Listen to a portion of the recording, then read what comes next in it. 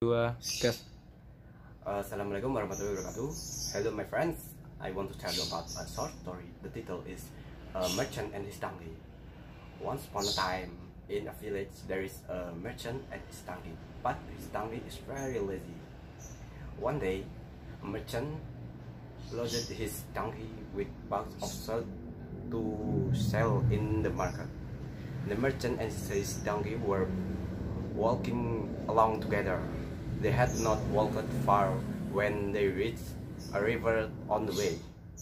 Unfortunately, the donkey slipped and fell into the river.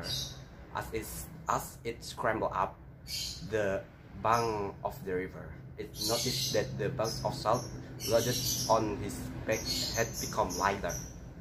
There was nothing the merchant could do except return home, where he loaded again his donkey with a bag of salt.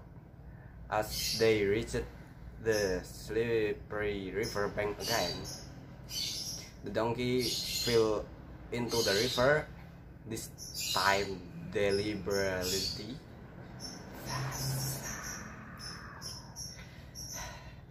Thus the salt was wasted again. By now, the merchant now the donkey tricks. He want to teach donkey a lesson. As he returned home the second time with the donkey, the merchant loaded a new item. The item is spoons.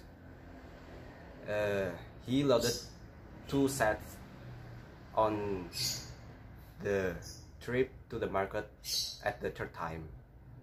After, on reaching the river, the donkey very cleverly fell into the river again. But now, instead the load become not becoming lighter, but became heavier. So the merchant laughed at the donkey and said, "You foolish donkey! Your trick has been discovered. You should know that you cannot fool any time too many times. Thanks for your watching. Wassalamualaikum warahmatullahi wabarakatuh.